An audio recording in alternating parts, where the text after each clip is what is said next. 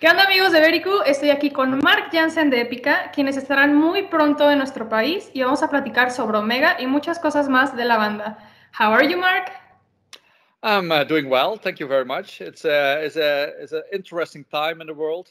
This, yeah, I know. Time, so so uh, one day it's it's more tough than the other, but uh, I'm trying to get uh, to enjoy the little things in life even more now.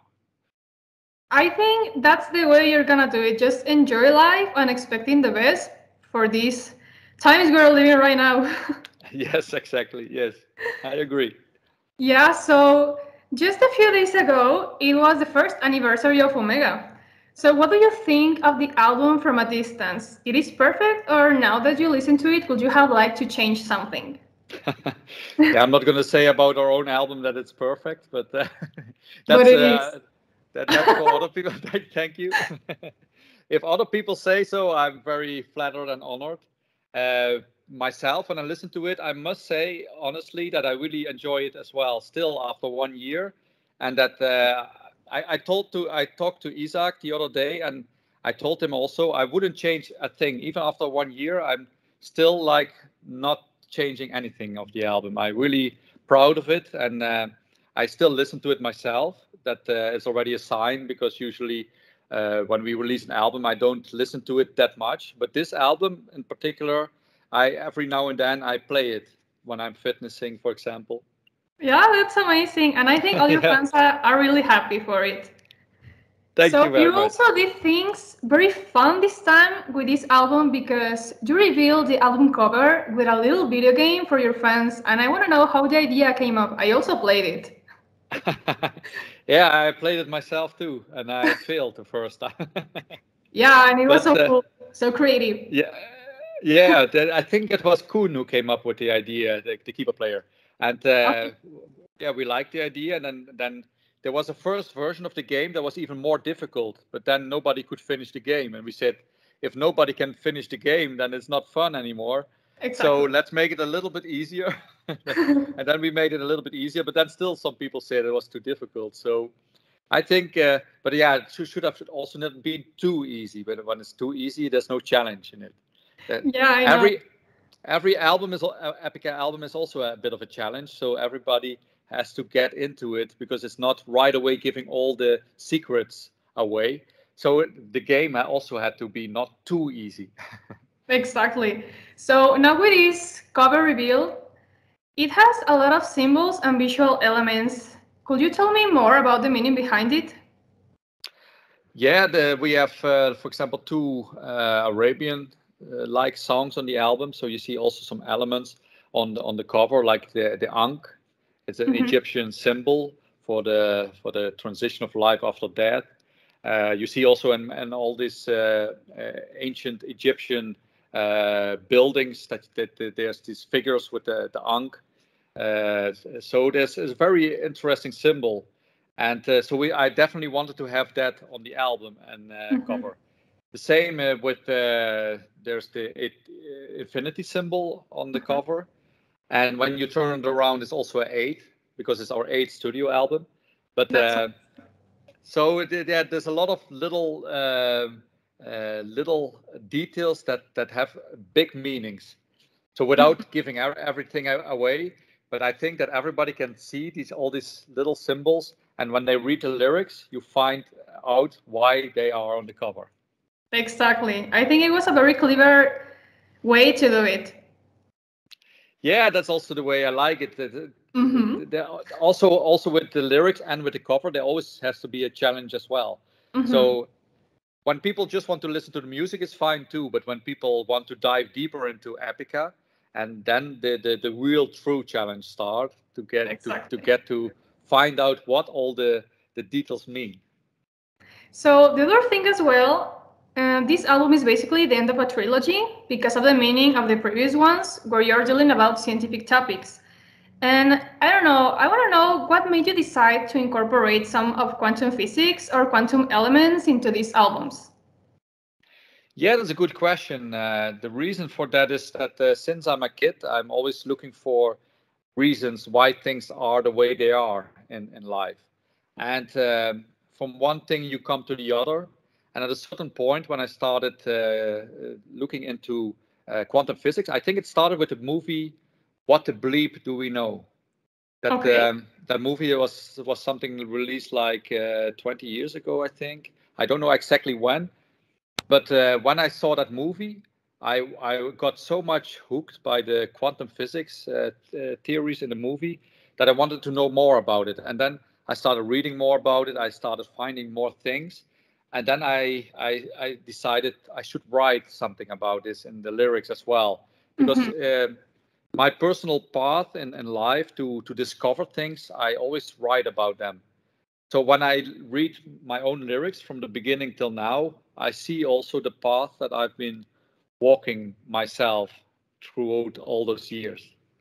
Yeah and as a difficult topic it's really cool you're talking about a bit of these elements because yeah. I think there are a lot of fans out there wondering a lot of things that are happening in our life and even in space, existence, and everything. So I don't know, it's a perfect combination of all. So congrats for that. Yeah, because because many of the the old ancient wisdoms yep. um, that are written already for so many thousands of years, when you connect them to quantum physics, you it all it's all connected. Exactly. Um, so also what what happens what exists in the very small also exists in, in the the largest universe at the same time. So it's all a matter of of perspective in, in, in the end. So something can be so small and at the same time be huge as the universe. And these things you find out with quantum physics. And uh, yeah, it, it's a topic I can talk about for for three days in a row, I guess. but, amazing. Uh, we'll need to have a beer for that topic. Yeah, yeah, definitely. So, I think this album is very cinematic. And what is going to be the challenge of picking the songs you'll perform live during your Latin American tour? Because the live stream was mind blowing. I love it so much. Thank you. Yeah, it's it's very hard always to to to pick songs for the for the show, but yep. uh, uh, I, what I what I found out is that uh, many people are extremely happy about the songs we played, but there's there's one song that they say we should play as Code of Life. So I think in the future we will sooner or later start uh, integrating that song as well because oh, see so many people ask for it. yeah, many people want to see it live, and uh, so it will it will eventually happen, I'm sure. Perfect. So now, thanks to this album topic, are you planning like more collabs on movies or video games, or maybe talking about anime, releasing a new Attack on Titan EP with the new songs of the last season? I love anime. Yes.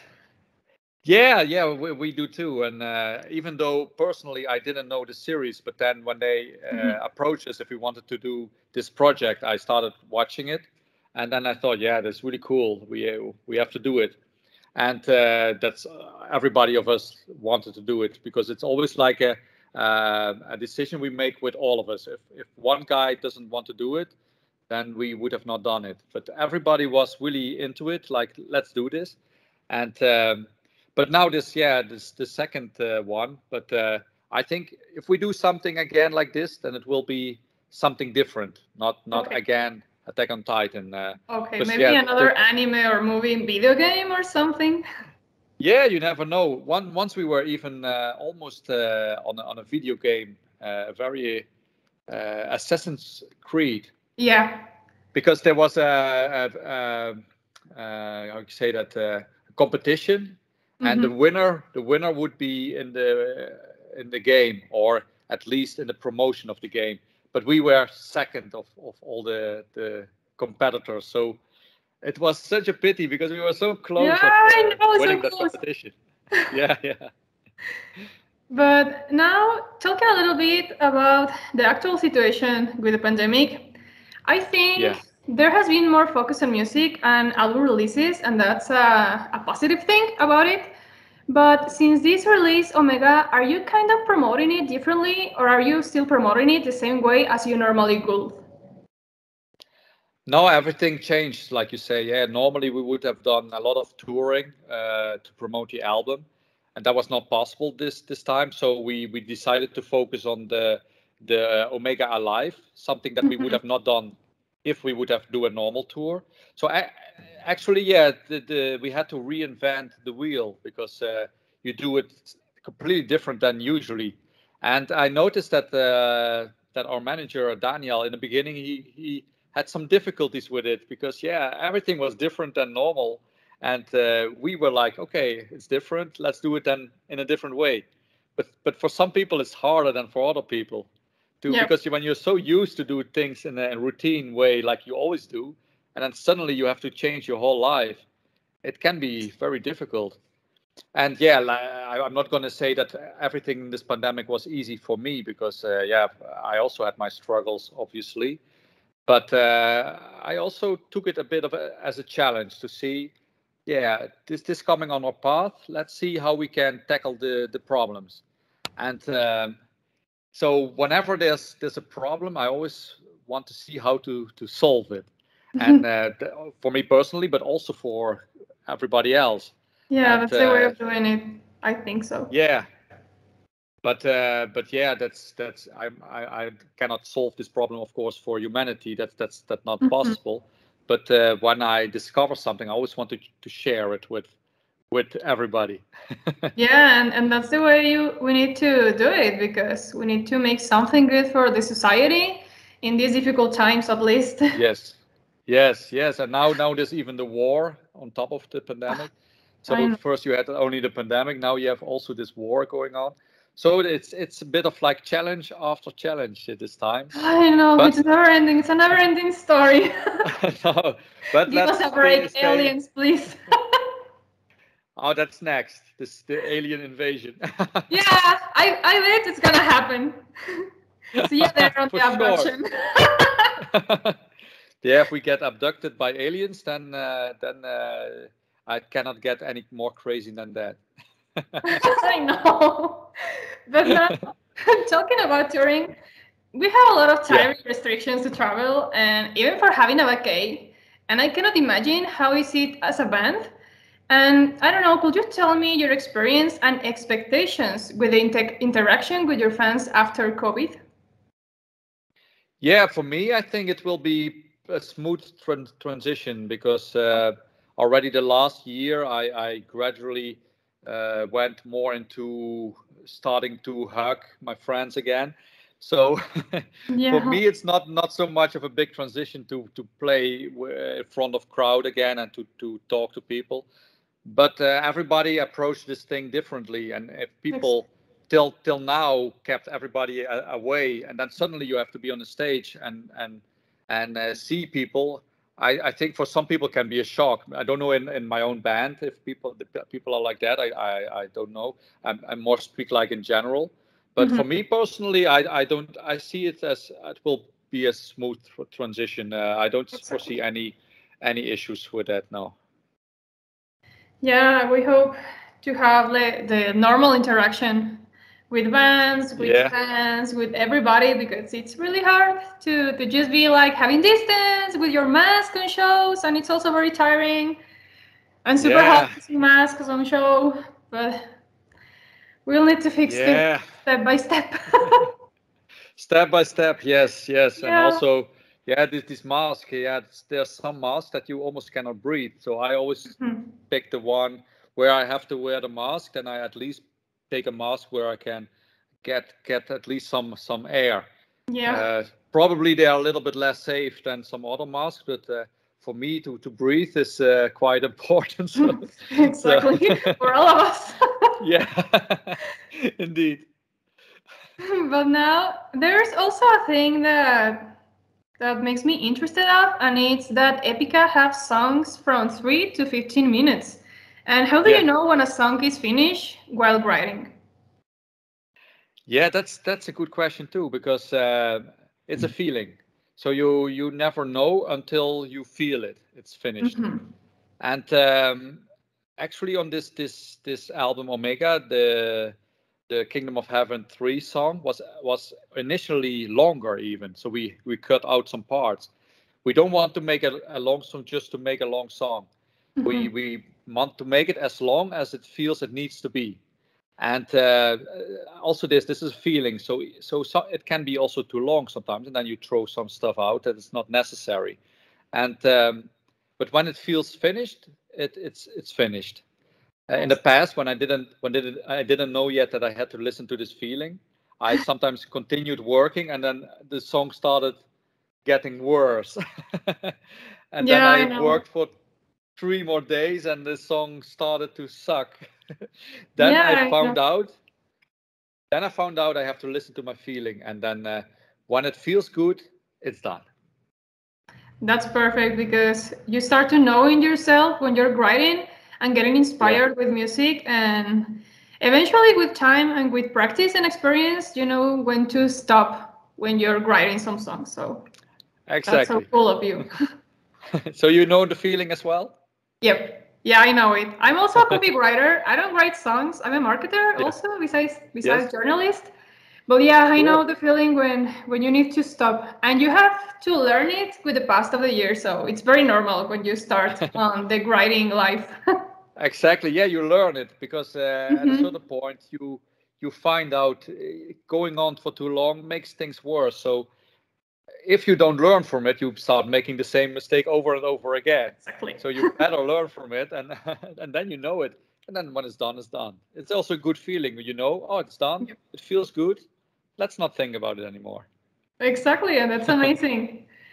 so, after singing Code of Life in Spanish as an acoustic version, have you thought of singing in Spanish? Um, me personally, Yep, you personally.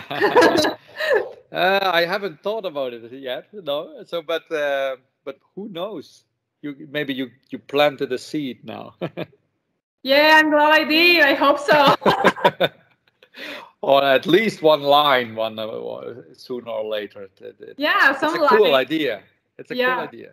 you can get started with something little and then increase it to a whole song in Spanish. That will be amazing. Wow. but yeah, first I have to master the Spanish some more. Uh, I'm I'm I'm also uh, getting to learn uh, Italian, and from Italian to Spanish, it's a it's a small step. But first, uh, Italian. First, I have to master the Italian language. Okay, that's cool. So we also know that you're a lover of Mexican culture. So what Yes. aspect, what aspects or themes of an ancestral Mexican na- nature would you like to address and capture in your music in the future? Yeah, in the future, but yeah, because in the past we already we sang about the Mayan culture. Mhm. and uh, that was a big aspect, especially on uh, the album "Consigned to Oblivion." And uh, there's many many things I've learned from that culture. It, uh, it's it's always known by people who didn't read uh, much about it, like like they were always sacrificing people to the to the gods. But there was so much more, so much wisdom in this culture. They, they knew, for example, about the existence of stars that you could not see with the with the with the eye. So they they must have found ways to explore the universe in a different way that we, we don't know how they did it. They didn't have the equipment, but they knew about these uh, these constellations, about these Exactly. stars. So we have to rediscover how they did it. So I, they must have had some mental uh, constructs, uh, some some some pathways that we have uh, forgotten to use. And I think that uh, that that that uh, we can learn a lot from old uh, the old cultures that were on the earth. So not only the Mayan culture, but also many other countries in the world. There were beautiful ancient cultures, and um, but like you said, uh, for the future, we uh, we there will also be future themes on albums.